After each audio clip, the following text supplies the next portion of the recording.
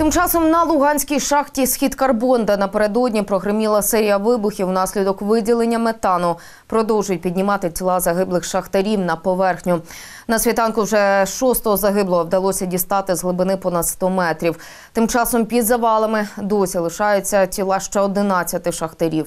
Попри те, що село Юрівка, де знаходиться підприємство, перебуває на тимчасово непідконтрольній території, за ситуацією стежать представники нашого омбудсмена. Зокрема, курує цим аспектом на Донбасі Павло Лисянський. За його даними, до епіцентру вибуху російські надзвичайники, які прибули з Ростова, ще не дібрались.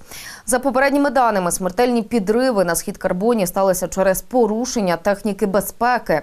Зокрема, на шахті не проводились необхідні застережні роботи, які б унеможливили скупчення метану.